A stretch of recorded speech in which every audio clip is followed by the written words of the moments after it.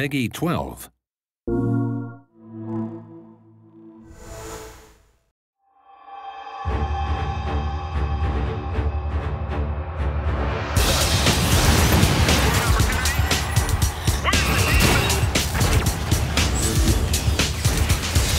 Rigs is set 50 years in the future. It's a combat sport where we've collided motorsports and mixed martial arts and first person shooting. We've wrapped them all up into something that we've called the Mechanised Combat League.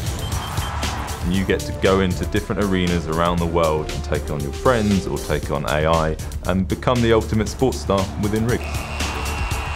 We've been wanting to tell everyone more about the game, um, how the game is bigger than just a multiplayer experience. There's a big other side to rigs that we've not talked about as much so far, and that's a complete single player component.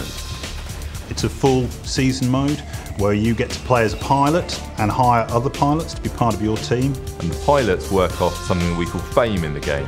You earn fame as you progress, and the better you do, the higher your fame rating goes. As I earn fame, it unlocks access to new AI pilots with better skills. And then you compete in a series of leagues pushing yourself forward to try and win the championship.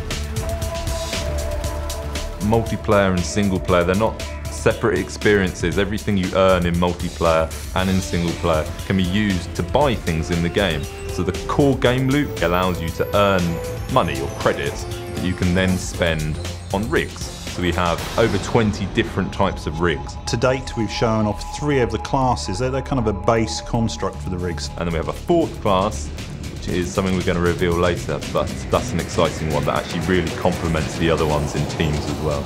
We've created these as really refined sports machines, and the idea isn't really that these are customizable, but that they are purpose built for a specific role within the game.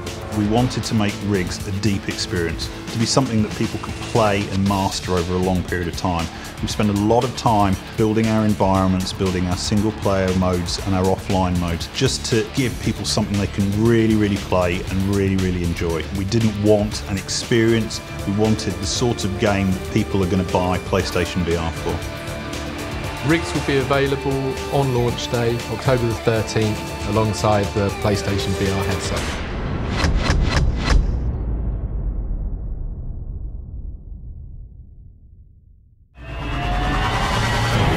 And they come out all guns blazing on opening day. It's the next level game for sure. Day one buy. PS4 for the players.